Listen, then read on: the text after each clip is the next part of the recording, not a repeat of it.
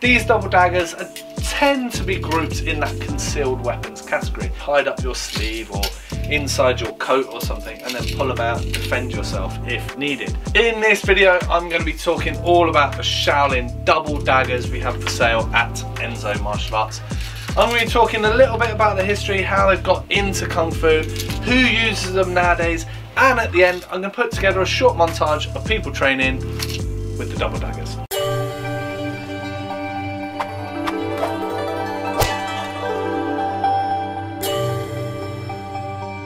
Hi, my name is Doug Swift. I've been doing martial arts for the past 34 years and I've been the owner of Enso Martial Arts for the past 17 years. If you're liking this video, remember to click the little icon, subscribe to this channel and get videos on all of the products here at Enso Martial Arts. So let's get into this video and learn all about the double daggers we have for sale at Enso Martial Arts. So on the website I have called these Shaolin double daggers. It's mainly in Shaolin Kung Fu or like very closely related styles that use these.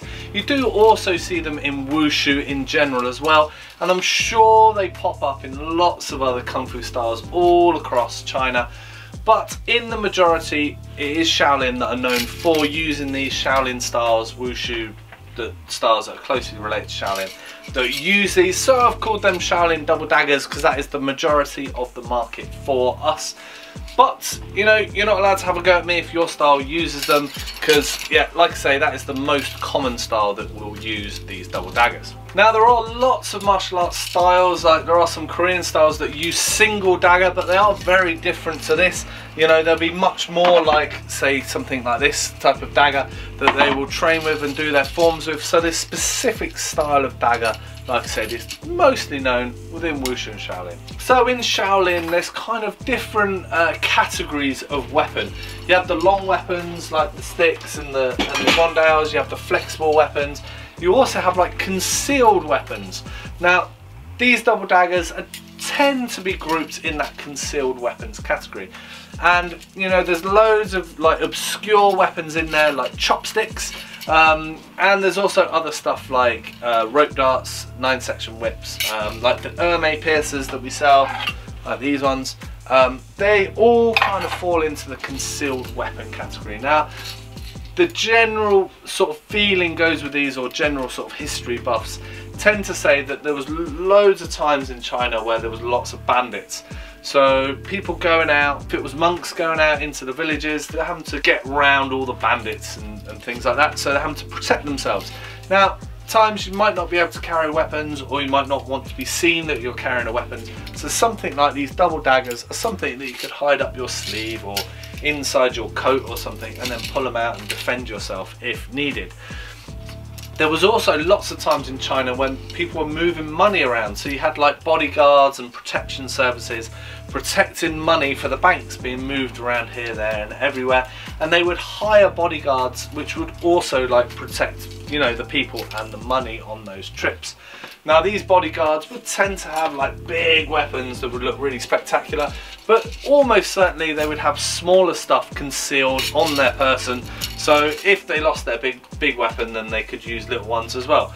Quite common in lots of kind of different armies and different um, different kind of fighting styles, protection services all over the world to have these smaller weapons. And this is generally what how these sort of double daggers and this type of like fighting style and these forms and stuff came into Kung Fu. I went to Pingyao a few years back and that had that was a big base for the banks in China and they did have these kind of homes where all the bodyguards would would eat and sleep and train as well and they had training yards as part of that. It was a pretty cool place to go.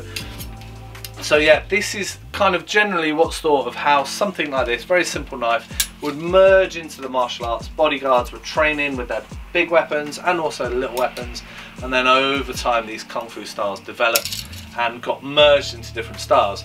Shaolin tends to be one of those kung fu styles where it's pulled in a lot of different things from all over China So yeah, lots of weapons, lots of different forms from all over the place, all grouped into one style.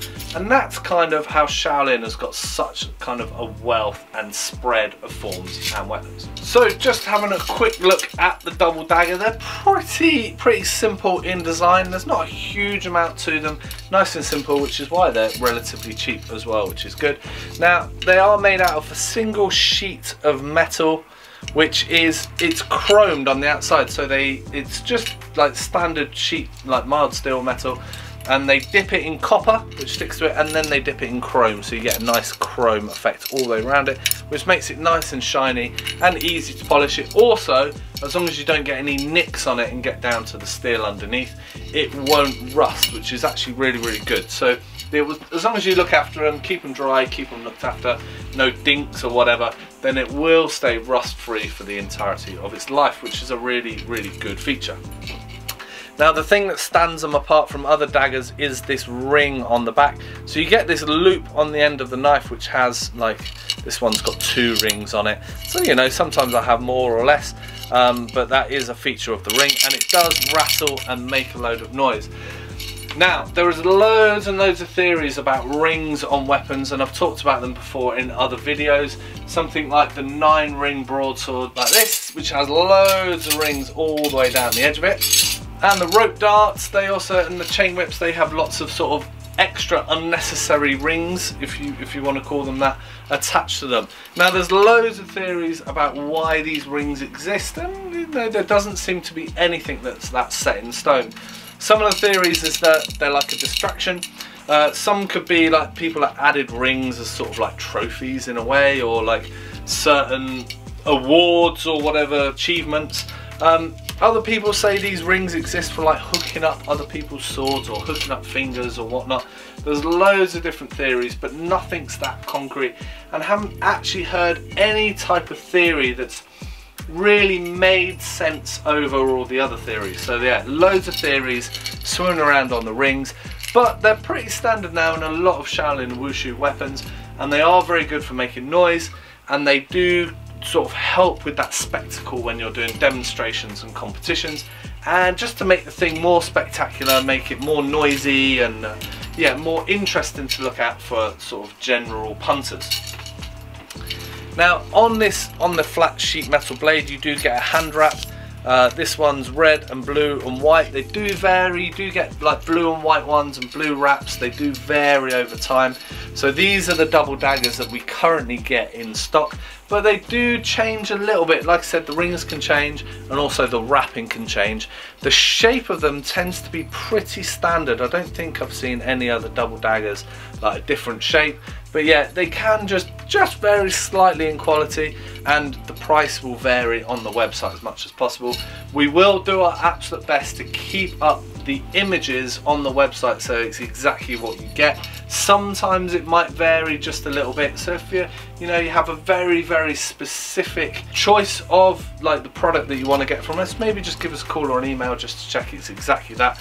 But like I say, the most thing that will change is the colour of the wrap. So just having a look at the dimensions of the double daggers, only a few measurements just so you know exactly what you're getting. You're looking around just over 11 inches or 28 and a half centimeters. In terms of the width of the blade, you're going in somewhere around three centimeters for the width. Now, as mentioned through this video, we like to think we've got a pretty good selection of Kung Fu concealed weapons. So as well as the double daggers, we also have the aforementioned Emei piercers. We have really good quality rope darts. We do three different weights, lightweight, medium weight and heavyweight chain whips. And the pretty rare and pretty hard to use double meteor hammers. Now definitely not really Kung Fu related, but definitely concealed weapon. The very, very popular black telescopic nunchucks. So as promised at the beginning of the video, here's a short montage of people training and competing with the double daggers.